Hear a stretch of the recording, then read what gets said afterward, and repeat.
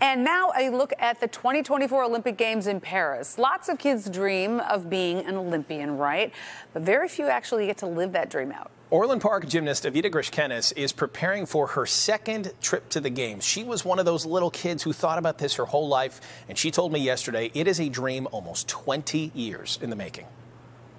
Rhythmic gymnastics is a blend of creativity and athleticism. The carpet becomes a canvas filled with beautiful expression and physical finesse. The mix of strength and style appealed to Evita Griskenas from the moment it first appeared on her TV at just four years old. So there's a girl there with the ribbon. I'm like, Mom, I want to do this. Her mom took her to a gym with balance beams and rings, but Evita knew what she wanted. At four, I take one look around the gym and I go, this is the wrong gymnastics, and I refuse to do anything. And so then she was like, well, I guess I have to take her to rhythmic. The right gymnastics for Evita meant early mornings and long trips for her parents. But that was nothing new. Before they moved to the U.S., both were elite athletes in Lithuania. I think it really instilled a mentality in me of make it work. Work that meant sacrifices for her dad and mom. I remember we had. Um, you know, she'd find the, the last scraps of money to pay for gas to come here. But work that has led to dozens of awards, world travel, and now two Olympic Games for Evita. Are you still in love with this as much as you were when you were a kid?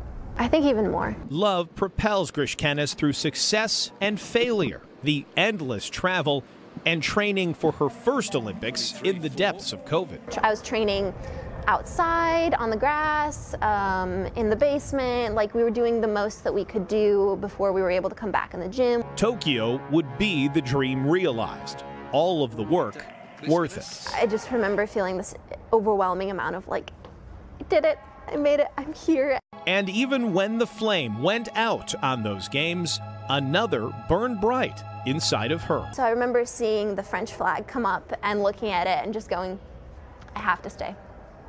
I have to. Like, I'm staying, that's it. And uh, I didn't know how at that time. I didn't know what was going to happen, but I just knew that I had to. I had more in me. Now 23, she's doing more than ever. Training for Paris while going to college full time at Columbia in New York. I schedule things basically by the minute. In May, her family will watch her graduate. Then, three months later, watch her at an Olympics in person for the first time. What will it mean to have them in the stands in Paris? Kind of everything, honestly. From the living room carpet to the Olympic carpet, a journey lifted by love and hard work from people all around her. The perseverance and tenacity that it takes and the way that it shapes my character just is something that sticks to me and just keeps me coming back for more.